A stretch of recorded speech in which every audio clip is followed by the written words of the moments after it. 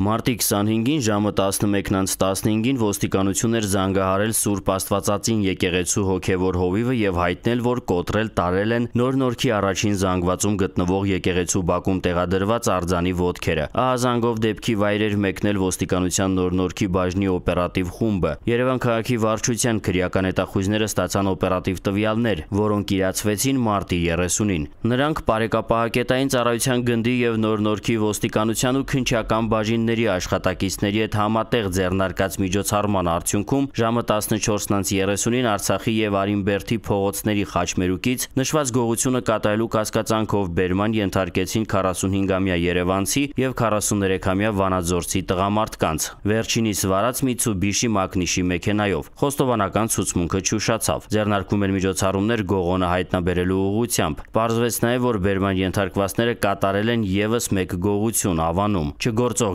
գարեջրատնից տարել էին սարքեր։ Երկուսն էլ ձերբակալվել են, կատարվում է նախաքննություն։ Ծանուցում ենթադրյալ հանցանքի մեջ կասկածվողը կամ մեղադրվողը համարվում է անմեղ, քանի դեռ նրա մեղավորությունն ապացուցված չէ Հայաստանի Հանրապետության քրեական դատավարության օրենսգրքով սահմանված կարգով՝ դատարանի օրինական ուժի մեջ մտած դատավճռով։